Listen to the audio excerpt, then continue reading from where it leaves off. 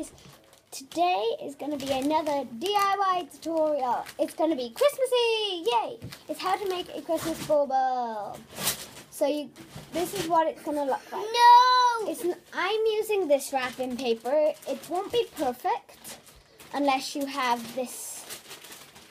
If you have this wrapping paper, or you could just use normal paper with glitter on it. Um, but I'm just gonna warn you, it's not gonna look perfect. So you're gonna need some wrapping paper, a bowl, a piece of paper, a hole puncher, um, some scissors, and some sellotape. Okay, the first thing you need to do is cut out a small piece of wrapping paper. And what you're gonna do is, is you're gonna put it down, gonna put it down on the paper, just like this. And you're going to fold each corner in like this. As I said, it won't be perfect. And then fold each corner in.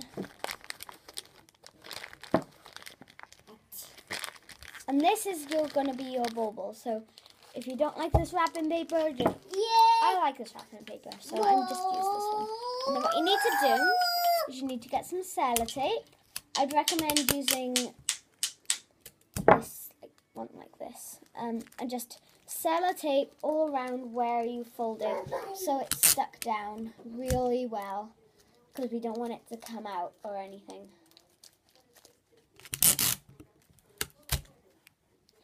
And if you used a bouncy ball, then you have a two-in-one bauble that you can put on a tree and a bouncy ball. So, yeah, great idea. As I said, it won't be perfect. It's maybe a bit lumpy, but it's DIY. Be creative.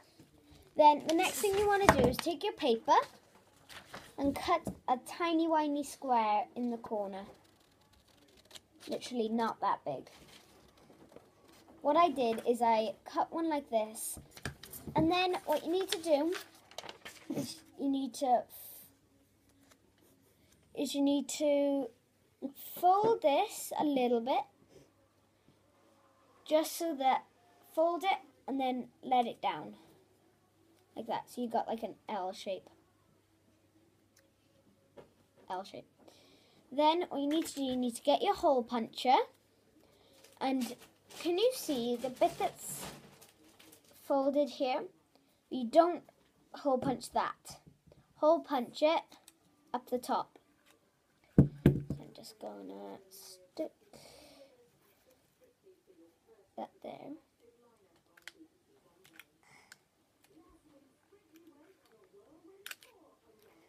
It's not coming- oh, wait. Oh, right. Right, so my hole punch went a bit wrong, but in and out. It's not coming out.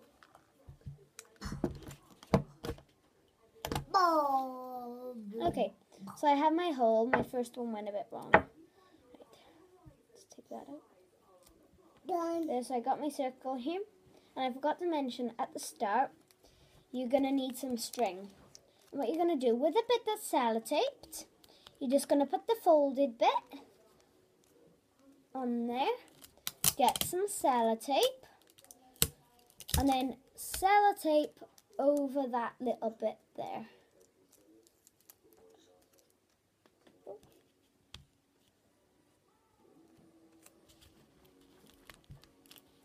and just fold that. So you have this. Then I forgot to mention in the start that you're going to need some string as well.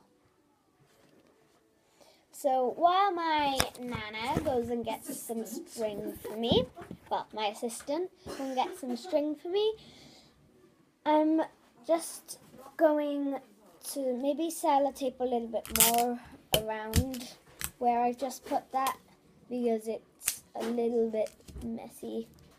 So just flatten it out a little bit.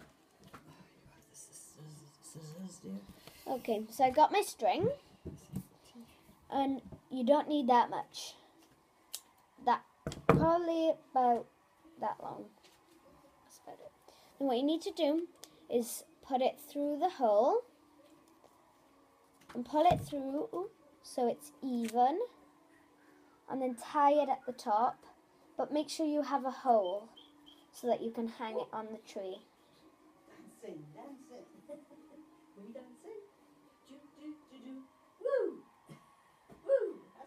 That's it. and you want to tie it a couple of times just so we you know that it'll stay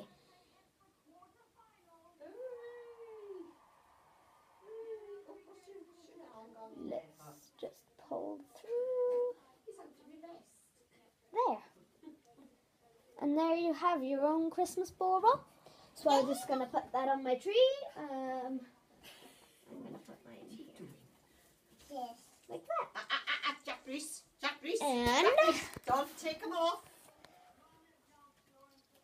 Where is it? And there it is, hanging off my tree. So thanks guys for watching. I know this is not perfect. It's not the perfect one that you can do, but that's the way I like to do my Christmas balls. It doesn't look exactly like this, obviously. Don't you take them off. You, please. you can't do that. You, can't do that. So, you know, thanks guys for watching. Bye. See you, see you in my next video. Right, come on, you, mate.